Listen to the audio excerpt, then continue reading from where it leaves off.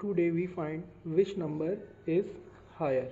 So we first break 3 power 3 multiplied by 25 3 multiplied by 25 is equal to 75 and 2 4 multiplied by 25 4 multiplied by 25 is equal to 100 so we solve 3 power 3 is equal to 27 and power 25 2 power 4 is equal to 16 power 25 and you know both powers are same.